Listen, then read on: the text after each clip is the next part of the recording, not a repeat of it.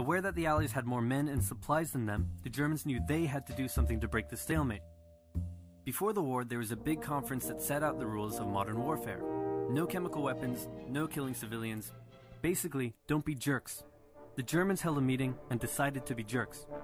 Zeppelin air raids commenced over British cities. They also started attacking the Allied trenches with chlorine gas, and they used submarines to sink civilian ships.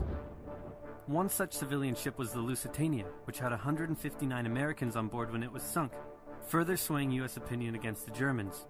Not to be completely unfair to the Germans, the Allies also engaged in chemical warfare soon after, and they had been hiding anti submarine weapons on their civilian ships, which let the Germans justify their attack.